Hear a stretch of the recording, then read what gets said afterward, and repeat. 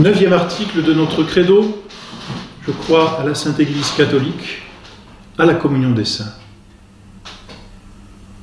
Deux parties, nous avions dit au tout début, deux aspects différents d'une même vérité, l'Église. L'Église hiérarchie, ici-bas, qui a pour but l'Église invisible ou mystique, la communion des saints. Une société qui prend les âmes quand elles s'incorporent à elle par le baptême et qui finalement mettent les âmes en communion avec tous les saints. Je crois à la communion des saints. Qu'est-ce donc que ce dogme de la communion des saints? Que signifie la communion des saints? Eh bien cela signifie la communication des biens spirituels entre les membres de l'Église.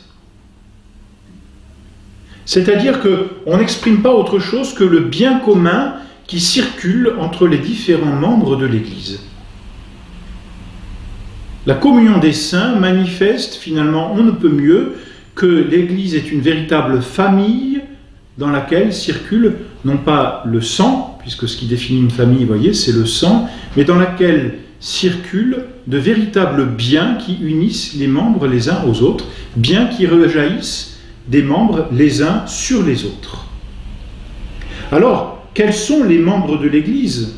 Qu'est-ce que cela veut dire? Finalement appartenir à l'Église ou être saint parce que c'est cela Communion des saints, c'est l'union qui existe entre les saints. Eh bien les saints, ce sont ceux qui sont en union avec notre Seigneur Jésus-Christ. C'est cela les saints. Et cela nous amène à distinguer les trois états de l'Église, les trois aspects de l'Église communion des saints, et non pas de l'Église hiérarchique. Les trois aspects sont l'Église militante, ce sont les saints qui sont sur terre, et c'est l'Église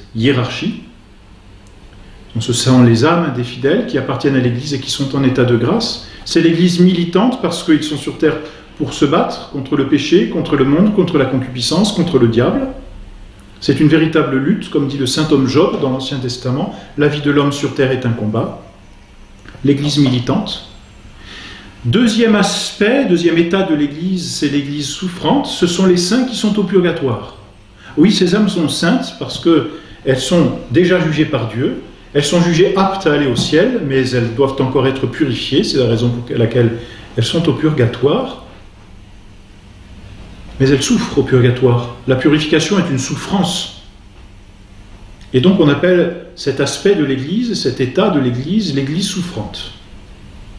Et enfin, troisième état, troisième aspect, ce sont les saints qui sont déjà au ciel, et on l'appelle l'Église triomphante. Ainsi donc, l'Église, c'est toute cette famille. C'est l'Église militante, l'Église hiérarchie sur terre dont nous avons abondamment parlé.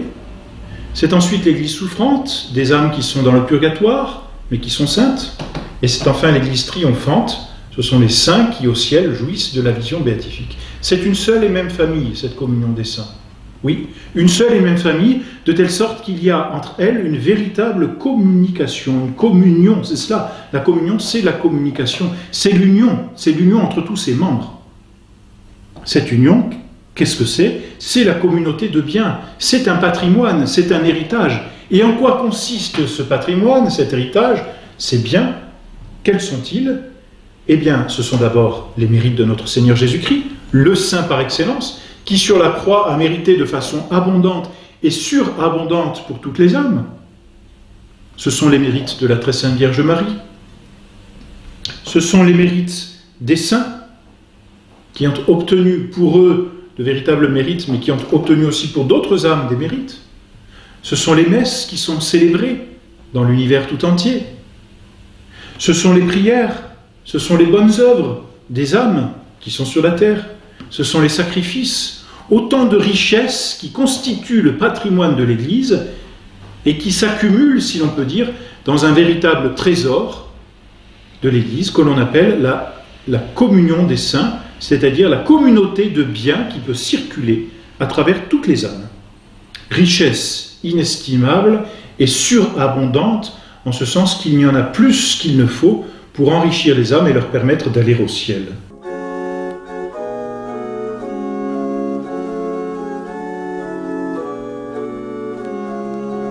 Ainsi, par la communion des saints, les différents saints de tous ces états de l'Église que ce soit l'Église militante, souffrante ou triomphante, Les saints, donc, communiquent entre eux ces biens. Et c'est ce qui définit justement la communion ou la communication de ces biens. Par la prière, par les intercessions, par les indulgences, les âmes peuvent donner ou obtenir pour d'autres âmes, les saints, dirons-nous, peuvent obtenir pour d'autres saints, c'est-à-dire d'autres âmes en état de grâce, des biens. Par exemple, une personne qui prie sur la terre, une personne qui se sanctifie, une personne qui fait une œuvre difficile ou un sacrifice, obtient un mérite pour elle-même et obtient aussi des grâces pour d'autres personnes. Quelqu'un qui prie par exemple pour ses parents obtient des grâces pour ses parents. En vertu de quoi la prière personnelle peut-elle avoir une efficacité sur d'autres personnes, puisque c'est ma prière? En vertu de la communion des saints. Lorsqu'une personne sur la terre prie un saint du ciel, elle procure à ce saint une gloire, communion des saints. Mais en échange d'ailleurs, ce saint qui est honoré par la prière va obtenir de Dieu des grâces pour l'âme qu'il a priée. Communion des saints, une fois encore. Pour les âmes du purgatoire, nous connaissons les indulgences que toute personne peut gagner au début du mois de novembre en allant visiter un cimetière et en priant pour les âmes du purgatoire. Elles sont au purgatoire, elles souffrent, elles sont là pour être purifiées, mais elles ne peuvent plus rien pour elles. Nous, tant que nous sommes sur cette terre, nous pouvons prier pour nous. Les âmes qui sont au purgatoire ne peuvent plus rien pour elles-mêmes. Mais nous, par nos prières, nous pouvons quelque chose. Nous prions et Dieu obtient d'adoucir leur peine, ou peut-être même de, l'effacer complètement et de délivrer l'âme du purgatoire. Communion des saints, une fois encore. Par cette communion, il y a donc une, une circulation, voyez-vous, de biens spirituels entre les différents membres, entre les différents membres de l'Église, militante, souffrante et triomphante. Alors c'est un dogme qui est extrêmement rassurant pour nous, surtout en des temps troublés. Et cela manifeste encore plus et peut-être mieux l'unité de l'Église. Celui qui prie les saints, celui qui vit comme, les saints ont vécu, celui-là, justement, manifeste l'unité de l'Église et rentre en communion avec ses saints pour en obtenir de grandes grâces. Malheureusement, il y a des âmes qui ne peuvent pas participer à cette communion des saints. C'est simple, tous ceux qui n'appartiennent pas à l'Église hiérarchique, les infidèles, les hérétiques, les schismatiques, les apostats, les excommuniés qui ont été retranchés de l'Église, ceux-là, parce qu'ils n'appartiennent pas à l'Église, à l'Église militante, qui est l'Église hiérarchie, ceux-là ne peuvent pas avoir part à la communion des saints. S'ils obtiennent des grâces, c'est par un don purement gratuit de Dieu, mais non pas en vertu de la communion des saints.